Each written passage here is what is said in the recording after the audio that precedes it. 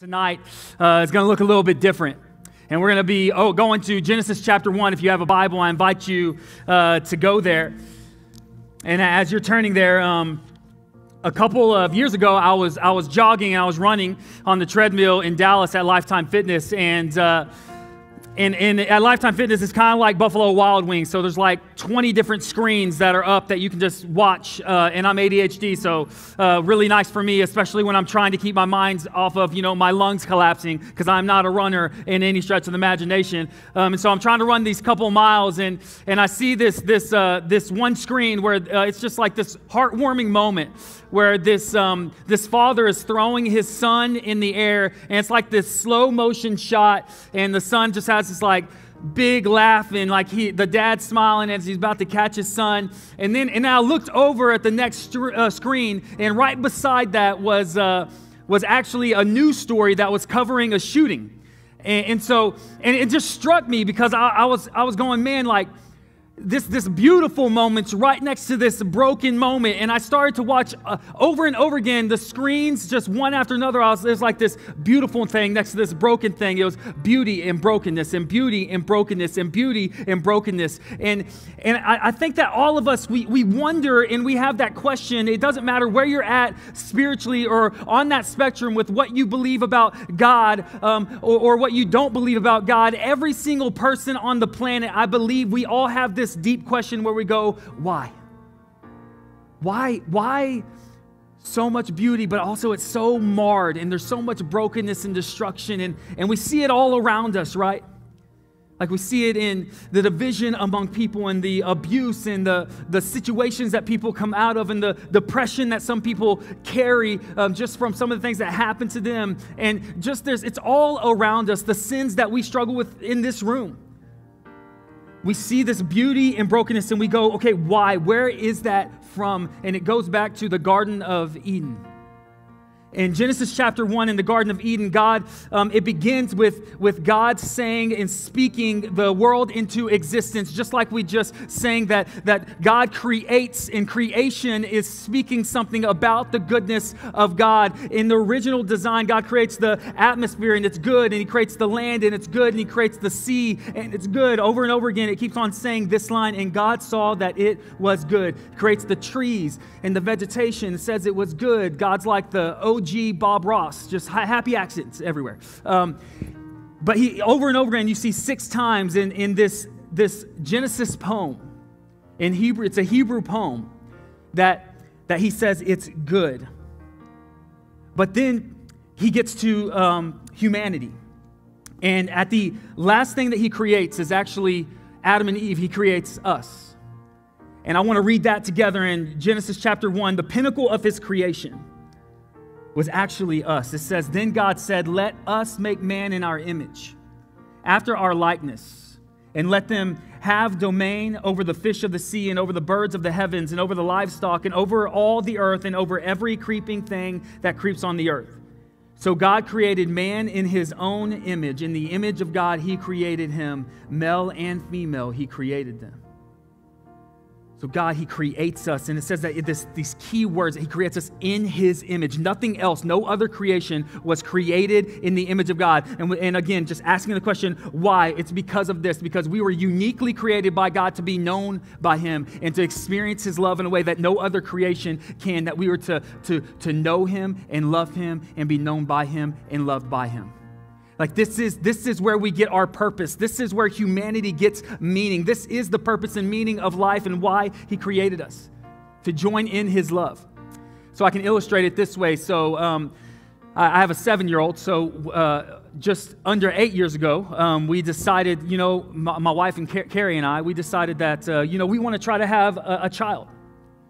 And and we had that conversation, and if someone was to ask us, why did you decide, decide that you wanted to have a child? We wouldn't have said, oh, it's because we needed some void filled in our life. Actually, there was strong love that was between us. I would have actually said, from the love that existed between Carrie and myself, we wanted to create another person to be able to join into that family of love so they could join this, this relationship, so they could join and be loved by us. And God, when He created us, I think it's something like that.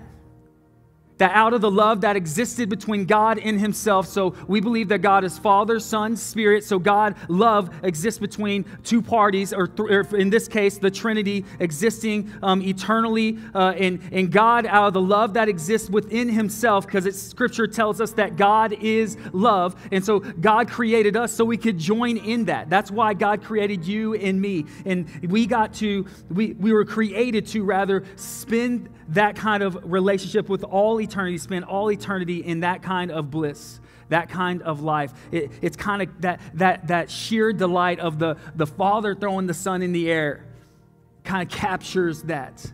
In Garden of Eden, which is mentioned um, in verse 8, that this garden was called Eden, it actually means delight. That's what Eden means. That we were created to just live in the goodness of God. And then God, He he takes them, puts them in the garden in, in, this just pure bliss. And then in Genesis chapter 2, verse 16 and 17, we see where God, He puts this tree in the garden and says, Hey, don't eat of this tree um, or you're going to die. It's showing that there is a possibility to go away from God. But I'll read that um, together in chapter 2, verse 16 and 17. It says this it says, And the Lord God commanded the man, saying, You may surely eat of every tree of the garden. But of the tree of the knowledge of good and evil you shall not eat, for in the day that you eat of it, you shall surely die. And so we know what we're about to read, uh, at least many of us do, that they actually do take of this tree. And that's why the world breaks. And that's why we have all the issues we do today. That's why there's beauty and it's marred and it's also broken. And we're about to read that. And a lot of people are going to go, okay, here's my question Why did God put the tree in the garden to begin with? Like, why did he give the possibility for us to go away from him with if there is so much um, darkness and brokenness and sin and whatever you might want to, what word you want to attach to it? We see it all around us. Why would God put the tree in the garden? And here's why because God wanted a love relationship with us, and true love requires choice. You can write that down. That's a true statement. True love. In, there's not a, a, a, an instance that you can tell me, I do not believe tonight, where true love does not require choice. True love, it requires choice. And God wants us to choose to follow Him. And that's why God, He gave this possibility, because He wanted them to have the choice to choose Him or not. And uh, Tyler, a guy that spoke here um, a couple weeks ago, he uh, posted this and and I'll share what he said. I agree with it. He said, I'm convinced beyond a doubt of this that God wants to be loved. He wants to be a priority to someone. How could we have missed this from cover to cover, from beginning to end? The cry of God's heart is, Why won't you choose me? It is amazing to me how humble, how vulnerable God is on this point. He says, You will find me says the Lord, when you seek me with all your heart. Jeremiah chapter 29, verse 13. God desires a love relationship with you. He is drawing us tonight, the point of tonight, God drawing us into his love and out of our sin so we can experience what we were supposed to experience in the beginning. We can start to experience that again, because man, I've started, I've started to. I've experienced God's love in my life, and I believe that all of us can. But God, He created the world in perfect rhythm in sync and in harmony. But then, but then the world, it, it broke whenever sin entered, when they chose to eat of the tree, which we're about to read what happens after that. And everything was no longer in sync and in harmony. Um, uh, my, my wife, she brought me this CD, just a simple illustration. Um, she brought me this Britney Spears CD. Um, hashtag free Britney. Um, but but she, she, she uh, if uh, uh, I, this is just the one that she chose. Um, but if I was to take a pocket knife or I was to take the CD, uh, right now the CD would play right. It would be in rhythm. You would be able to listen to the tracks the way that they were meant to be played. But if I was to take this and I was to scrape it across the concrete or take a pocket knife and scrape it across the CD, it would no longer play right. Why? Because now it has been marred. Now it has been marked in such a way that it will never play right again. It will skip and it will skip and it will skip. And this is what happened with God and Him creating us and creating the world with His design. We chose to sin, and that sin put a massive mark where it's now marred and it skips and it doesn't play right, and where it was once in um, harmonious rhythm, and now it is broken. And that's what happens whenever they eat of the fruit. And after they eat, we're going to pick this up in chapter 3 where, they, where it's called the fall. In chapter 3, starting in verse 7, they eat of the fruit that God told them not to eat of. It says, Then the eyes of both were opened, and they knew that they were naked. This is where shame enters into the world. And they sewed fig leaves together and made themselves loincloths. And they heard the sound of the Lord God walking in the garden in the cool of the day. And the man and his wife hid themselves from the presence of the Lord God among the trees of the garden. But the Lord God called to the man. He said to him, Where are you? And he said, I heard the sound of you in the garden, and this is where people started to be afraid of God. And maybe you came in here tonight going, Man, I just haven't come because now I feel like me and God are not on a place where he wants anything to do with me. And this is what Adam thought.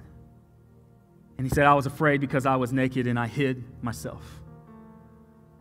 Man, we've been hiding ever since. And there's been so many places in my life where there was a period of time that I would not have found myself in a room like this because I knew what I was choosing to do um, with my weeks and my weekends. And I knew that I was choosing to go away from and stray away from what God wanted for my life. And I just thought, man, I've got to hide this from the Lord. I can't come to Him with all of this. I've got to shove that down deep inside and just kind of act like everything's okay when I do have to go to a place like this and talk about Jesus and people are talking about God to me. And I just, man, I hit hit it, and I think, man, we've been hiding ever since, and we're good at it.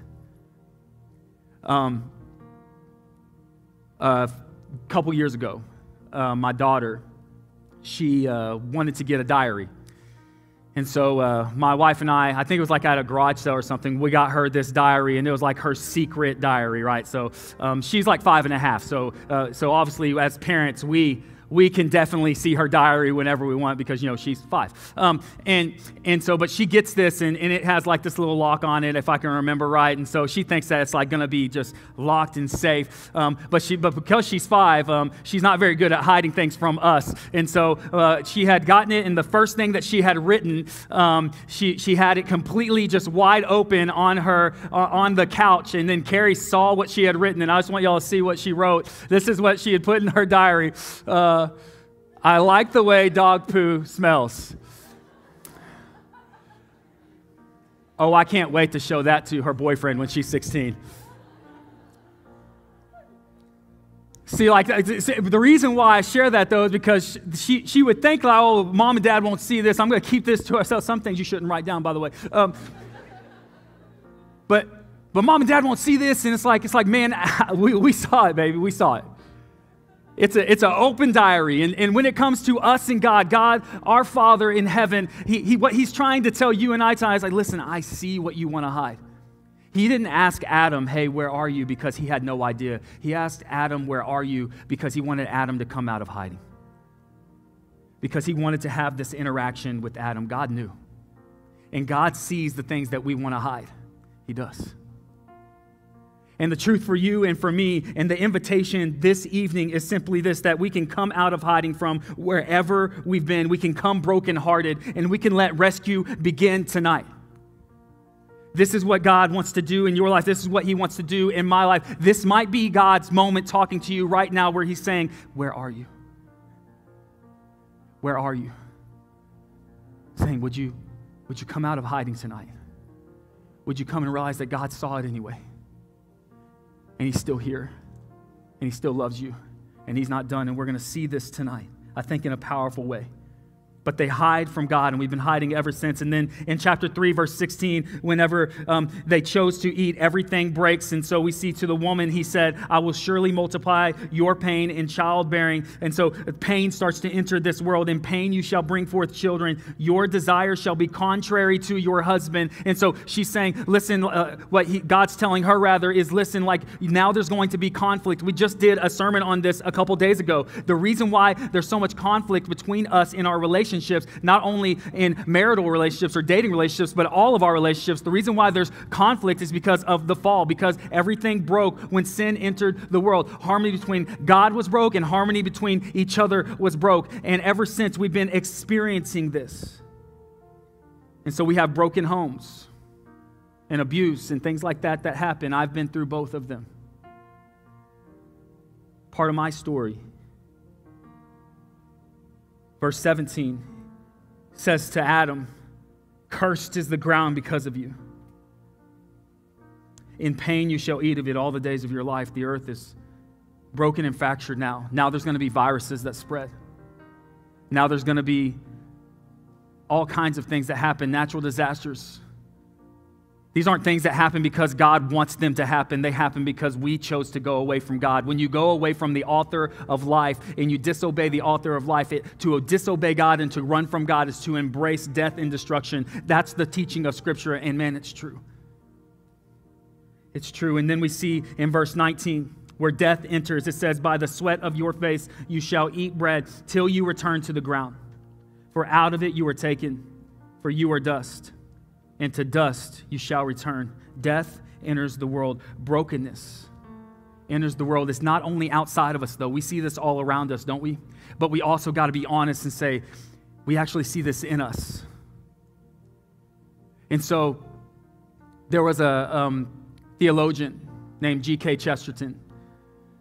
And um, back in the day, he was a popular theologian, and he actually uh, a very popular magazine or, or, newspaper, can't remember which one, they asked him if they would answer this massive question. They said, Would you write in response and answer this question, What is wrong with the world? And so they, they posed this just crazy big question to him and wanted him to write a response to it. And there's been full books written on this, right? And his response to that question, What is wrong with the world, was actually one sentence. He sent back one sentence, and what he said was, Dear sirs, to answer this question What's wrong with the world? He said, Dear sirs, I am.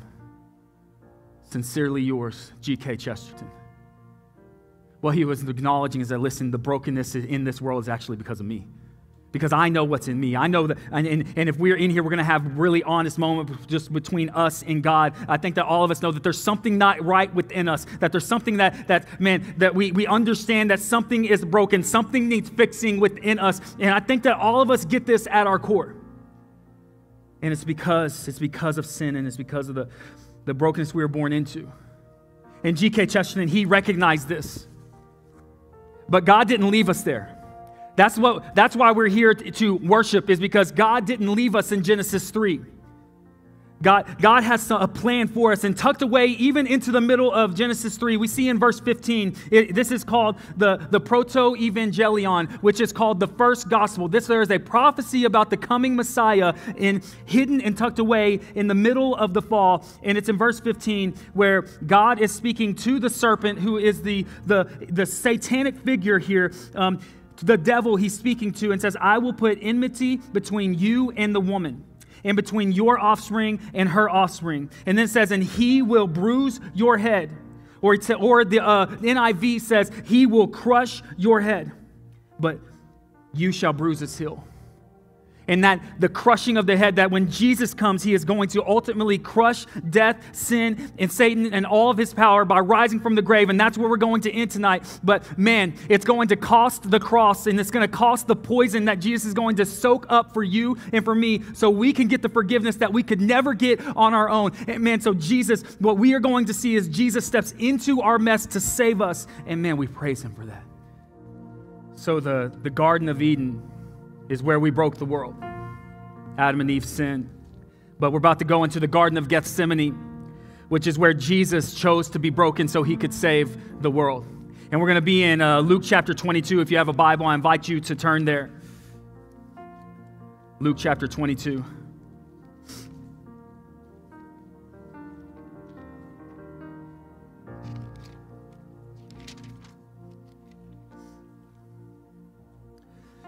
Um, we're about to read about how he's on this Mount of Olives, or, or um, like in Matthew 26, it, it calls it the, the Garden of Gethsemane. And Gethsemane literally means oil press. And there's a, there's a point, even in the place that Jesus is at in the moment that we're about to read, because olives were crushed. They were crushed to produce their most valuable resource, oil. And we're going to see that Jesus was crushed so he could produce his most valuable thing for us, which is salvation. He was crushed to save you and to save me. And we pick it up in Luke chapter 22, starting in verse 39. It says, And he came out and went, as was his custom, to the Mount of Olives. And the disciples followed him, or the Garden of Gethsemane. And he went and he came to the place. And when he had came to the, came to the place, he said to them, Pray that you may not enter into temptation. We'll come back to that in a moment. Verse 41 And he withdrew from them about a stone's throw and knelt down and prayed, saying, Father, if you are willing, remove this cup from me. Nevertheless, not my will, but yours be done. And man, this is the moment that Jesus, that right here, this is our eternities are hanging in the balance in this moment right here that, that he says, that not my will, Father, but yours done. It was the Father's will that he would crush God the Son, that, that Jesus would, would do this for us. Why? Because God loves you and he loves me, man. Like it's so crazy that this is what God would do. I remember hearing about a, a cross message from Louis Giglio at a, a conference called Passion Conference years back where he was speaking in Houston and he just he just gave this simple picture of just saying like imagine this stadium that you're in right now was lifted up and all of your sin and guilt and shame was placed in that and then it all just like a laser beam every weight of the stadium and all of your guilt and shame just fell and crashed and crushed into one person. Imagine what that would be like. That's what Jesus did for us and he was talking about this and man it was just clicking for me and I was uh, I was already saved. Already knew Jesus but I was just in awe of the fact that God would be be crushed to save someone like me because he loved me. And that was the Father's will to crush the Son. Not my will, but yours be done. And then in verse 45 and 46,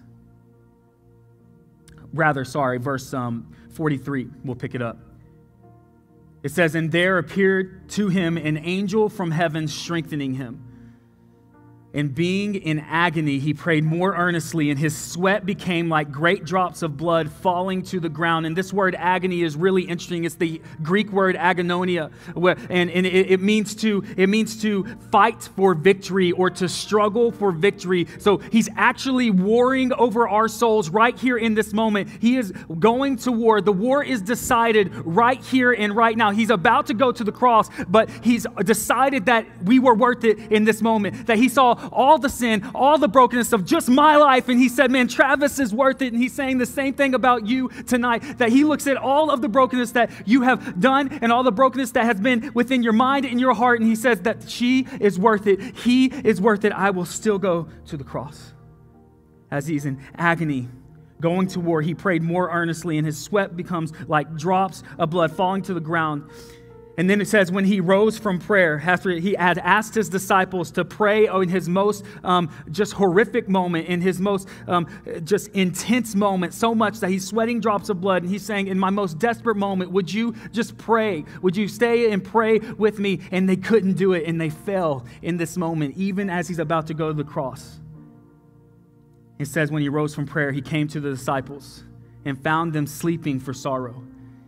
And he said to them, Why are you sleeping? Rise and pray that you may not enter into, temptation. And man, the, I actually think that this is such an amazing thing as I read this when I think about myself, because here's the truth that we see here Jesus meets their failure with his faithfulness that in their moment of failure, as he's about to go to the cross, he's still going to meet it with, their fa- with his faithfulness. And Jesus meets our failure with his faithfulness. This, this Jesus in the garden meeting our failure from Genesis 3 on, and he's meeting it with his faithfulness as he chooses to still love us and still go to the cross. And as I was around the table studying this with a group of people, um, we, we talked about how, man, it's crazy how God still loves me. Like, when I think about that, it's, it's, it, it causes awe in my life. And we started to just write one liners about how God has loved me through it all. And one of the guys, Tucker Thompson, our young adults intern, he said, I chose the world over him. I left Jesus for sex and porn and alcohol and drugs and rejected him and his plan for my life,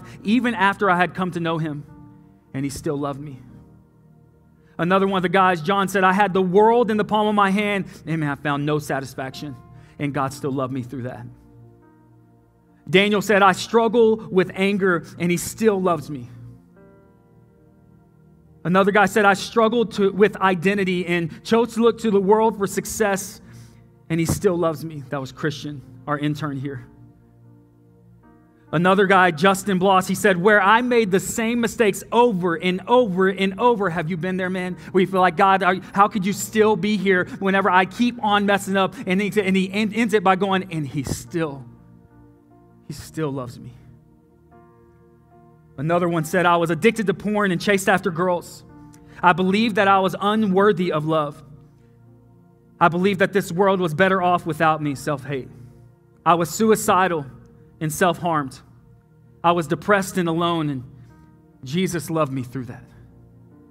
That, that Jesus met his self hate with sacrificial love. And no matter what kind of baggage you have on the inside of you tonight, that Jesus wants to meet you with his sacrificial love tonight. It's a simple, life changing, eternity changing message tonight.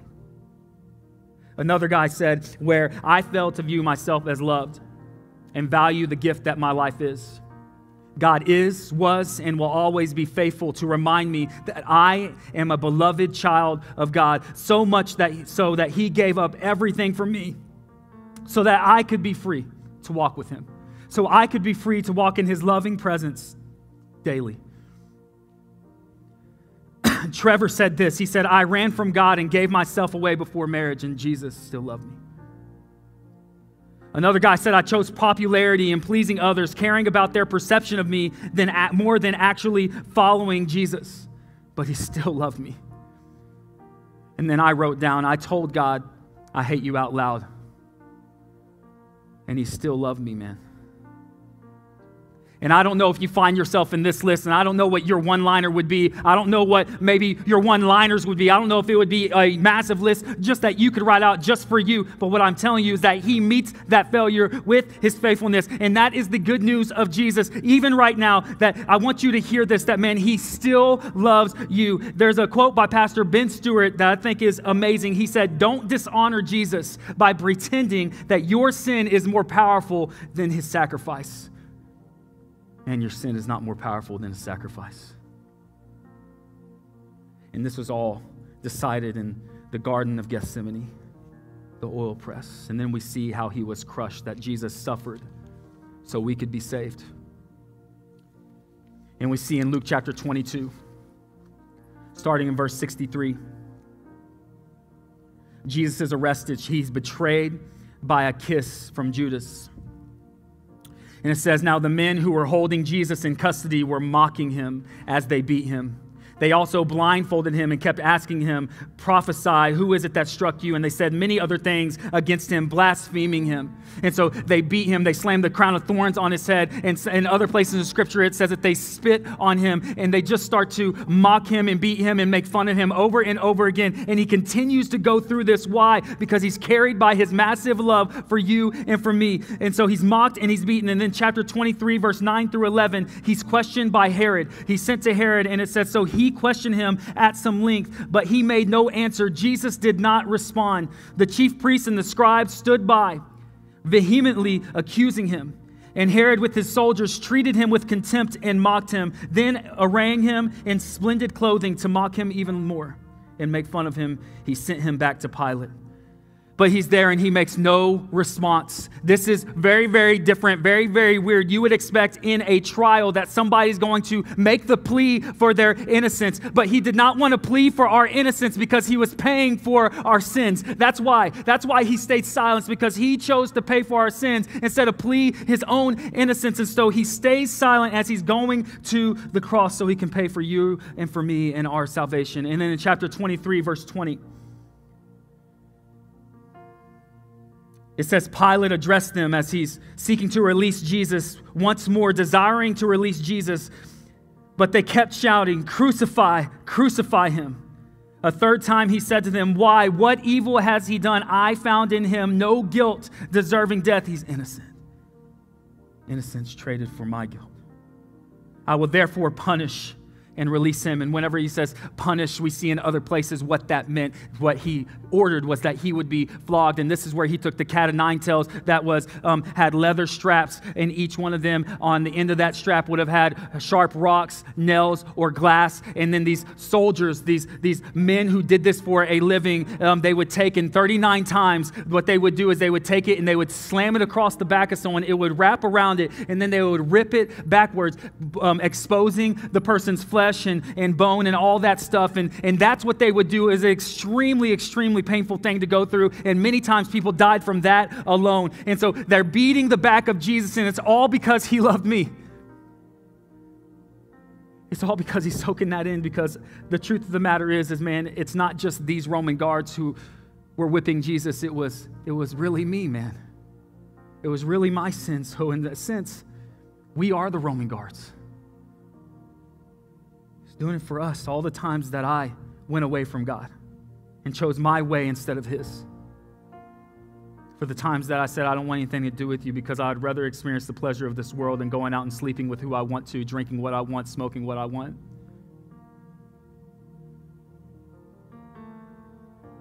And he still loved me. He's innocent, and he took my guilt. Verse 32 through 34, we see the moment of the cross. It says, Two others who were cr- criminals were led away to be put to death with him. And when they came to the place that is called the skull, or maybe your version says Golgotha, this hill of Golgotha, there they crucified him. And the criminals, one on his right and one on his left. And Jesus said, in the moment as he, and uh, when someone was crucified, they would have been probably seven or eight feet off the ground. And so everyone would have been just below eye level with him, looking at him, and, and they were making fun of him and mocking him in this as well. And he's dying on the cross. And as people are driving the nails through his wrists, what does he say? Father, forgive them? That's crazy. Why would he do that? For God so loved the world that he sent his one and only Son, so that way whoever would believe in him shall not perish, but they would have everlasting life. It's the greatness and the massive love with which God loved you and loves you and loved me. Man, this is an amazing thing. And so, how do, how do we respond to this truth that He would die on the hill of Golgotha? We're about to sing a song lyric. It says Jesus, that, that's going to uh, echo this truth that Jesus created the very hill as the God that we started with, the one that spoke everything into creation. He knew that he was creating the very hill that one day he would die on. So, what does God's grace, cross, and salvation mean for you and for me? It means that, man, when God sees me, he doesn't see failure, he sees a cross.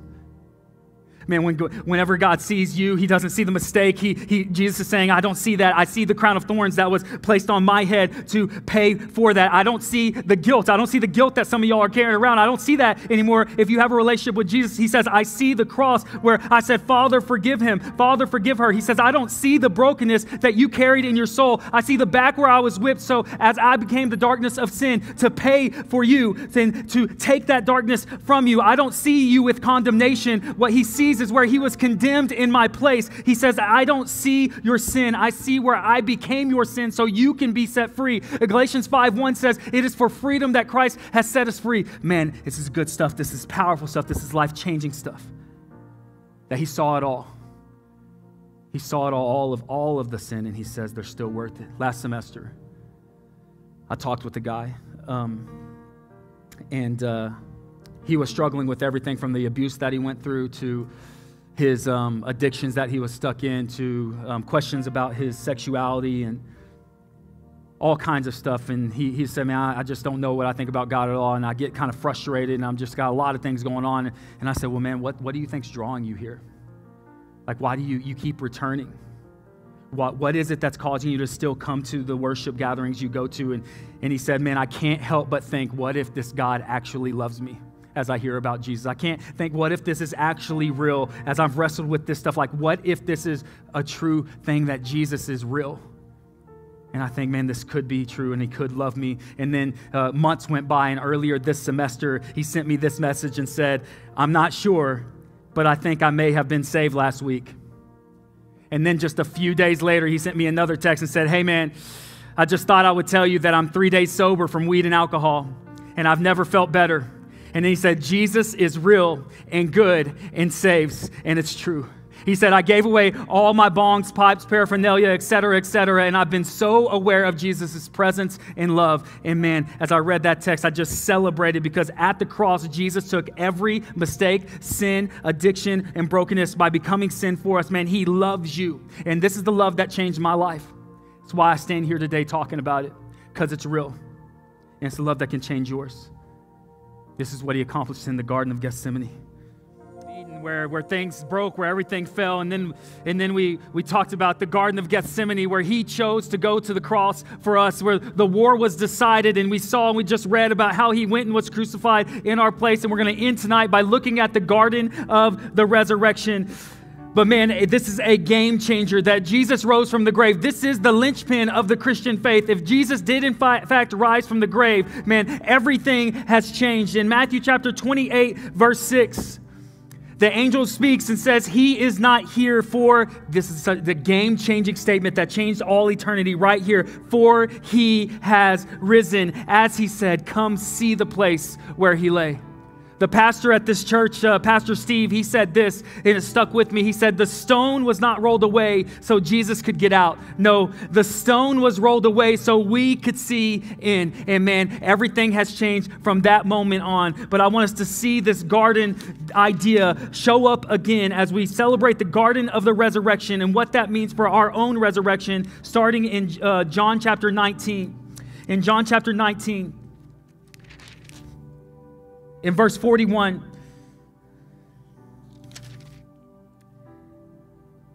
It says, Now in the place where he was crucified, there was a garden. Man, we're coming full circle. There's a story that God has told from the beginning of the Bible to this point, and we're seeing this idea that it's the story of redemption and our own salvation and our own resurrection. And so there's this garden uh, that, that's, that he's crucified and buried in, and it says, In the garden, there it goes again, a new tomb in which no one had yet been laid. So because of the Jewish day of preparation, since the tomb was close at hand, there there they laid, they laid Jesus there.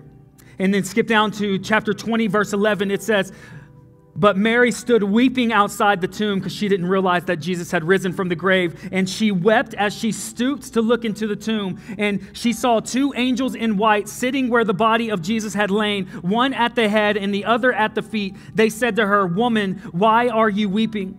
She said to them, They have taken away my Lord, and I do not know where they have laid him. Having said this, she turned around and saw Jesus standing, but she did not know that it was Jesus. She didn't recognize him in his resurrected state. And Jesus said to her, Woman, why are you weeping? Whom are you seeking? And here it goes again, supposing him to be the gardener. She said to him, Sir, if you have carried him away, tell me where you have laid him, and I will take him away. And Jesus said to her, Mary.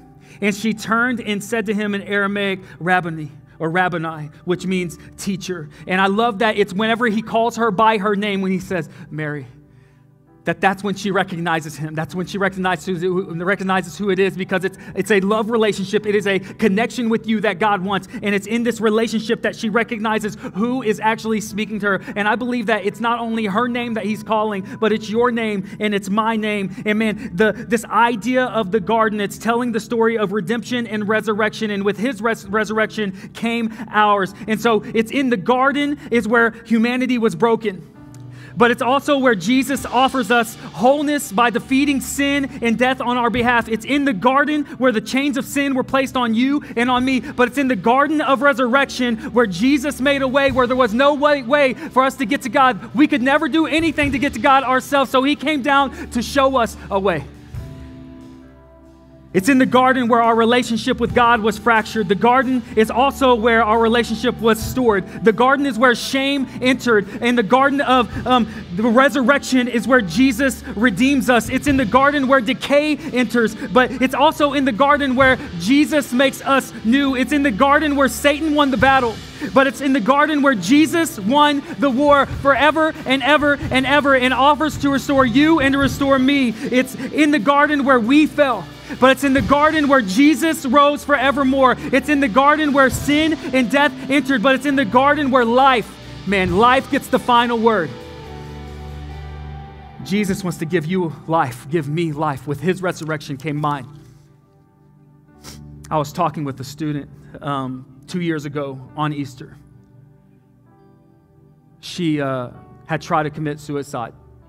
And I, I, got word of this, and me and Danielle, our college women's director, and on Easter evening, we found ourselves in a hospital room talking to this girl who tried to take her life. And as we talked to her, we talked to her about a lot of things and what, what was so um, going on in her, so much so that she chose to, to just try to remove herself from this world. And, and as she was in the hospital bed and I was talking with her, I, I, I, said, I just don't want it to be. And this is, man, so powerful. This moment was powerful for me personally, but I believe it was powerful in the room because I don't want us to lose the, I, this fact that this is Easter. I was talking to her on Easter evening and I said, listen, you know what Easter is, right? I said, Easter is a day of death that God turned into a day of life. And I believe that this is what God wants to do in your life. And this is not only for her, but that's for all of us. He takes the death that should be ours and turns it into life because of what He has accomplished for us. Man, and this is why we celebrate him. He gives resurrection where there was death and decay. He raises us from our addiction, from our mistake, from the shame, the guilt, and the spiritual death that was ours, and he gives us new life. It's this simple yet life transforming message. And man, I just want us to celebrate the love that came down to set us free. Can we celebrate that tonight? That God is amazing. He's good, He changes lives. Let's continue to worship Him some more.